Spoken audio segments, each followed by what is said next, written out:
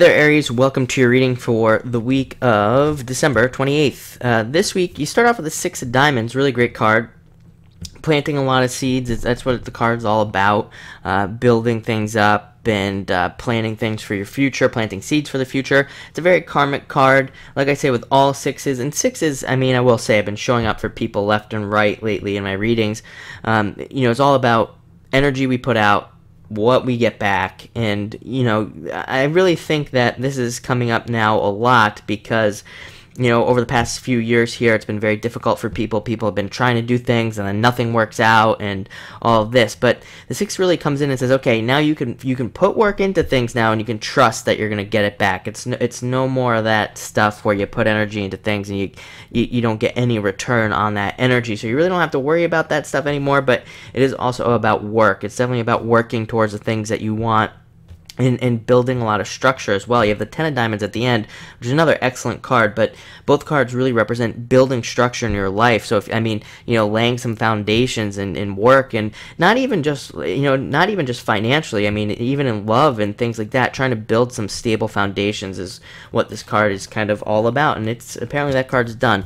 Next, you have the Four of Spades. Don't create any arguments in the home. That's what this card is all about. It's all about arguments in the home, issues in the home, things along those lines. They're usually very small, but with the four of spades, you can turn something very small into something very big. It's interesting that it showed up with the two of spades. These cards, they kind of came out right together and uh, you know uh, I, I, left them together because I was really feeling that I always say it with the four spades. It's like if you if you're living with somebody, you're in a relationship with somebody, and you live with them, you know, definitely can cause a breakup, which is the two of spades. So don't allow that to happen. Again, this is a card, it's a warning card, I always say. The four of spades is a warning that says don't cause any problems in the home.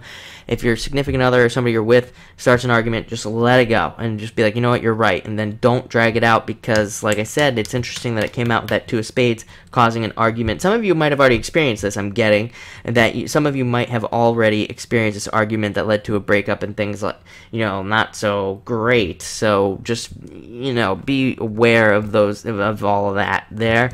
But next you have a really compassionate card King of Hearts, a card of compassion things like that. So if some of you did experience a breakup, you could very well kind of be able to bring that back together uh, and, and, make something work out of that. But really, um, you know, the King of Hearts to me, number one, I haven't seen this card in a long time. I mean, really, I, I haven't seen it show up for anybody in a long time the King of Hearts is very focused on something. Uh, he's very passionate about something, one specific thing. So a lot of you could be working on like a specific skill. I think education has come up for you in the past in, in my readings, and uh, you know the King of Hearts he wants to become a leader in like whatever area he's working on. Like he wants to become the best at what he does he's very passionate about it. Think about it. It's a hearts card, you know, so he has a lot of passion and things like that. And that's really kind of the message I'm getting for you is that you're really trying to like work towards something and be a leader in your field or, you know, to stand out in some way. So it's really great that you show up as the King of Hearts or, you know, the, have the King of Hearts energy this week because it does say that, you know, you'll be able to do that. You'll be able to make some headway. You'll be able to get ahead uh, with this card. And finally, you have the Ten of Diamonds. Like I said, building structure. Ten of Diamonds is a very successful card, though. It brings like a lot of success to you.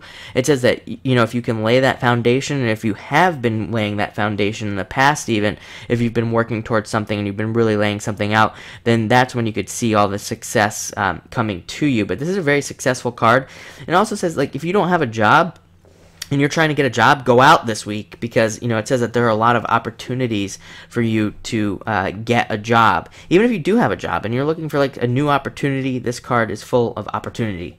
And I mean, I think I remember my 2016 readings were all about taking advantage of opportunity. That was a big word, so you know it keeps coming up. It's keep you know they keep stressing it, so definitely look out for that. But thank you for watching. I think it's gonna be a great week. You have some great stuff here. Enjoy it.